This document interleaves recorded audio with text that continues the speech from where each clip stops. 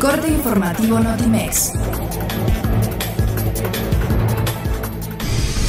El presidente Enrique Peña Nieto destacó que la renegociación del Tratado de Libre Comercio de América del Norte jugará un papel central en la política exterior del país este año y en ella México mantendrá una posición firme, seria, constructiva y con base en principios objetivos.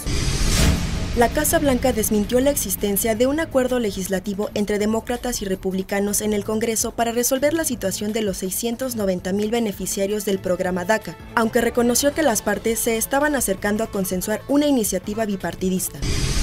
Los factores que llevaron a la inflación a niveles de 6.7% al cierre del año pasado son transitorios, por lo que se comenzará a ver una reducción a partir de este mes, aseguró el gobernador del Banco de México, Alejandro Díaz de León. México cuenta con instituciones electorales consolidadas y creíbles, lo que debe dar tranquilidad respecto a las próximas elecciones presidenciales, consideró el secretario general de la Organización para la Cooperación y el Desarrollo Económicos, José Ángel Gurría Treviño. El músico británico Eric Clapton reveló que está perdiendo la audición y que fue diagnosticado con tinnitus, lo cual es una percepción de ruido o zumbido en los oídos. El equipo Barcelona hizo oficial el fichaje del defensa colombiano Jerry Mina, quien proviene del Palmeiras brasileño y que estará ligado al conjunto catalán hasta junio de 2023. La negociación tuvo un costo de 11.8 millones de euros.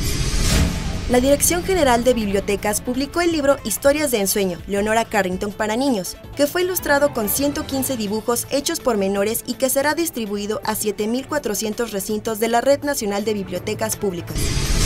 Notimex Comunicación Global.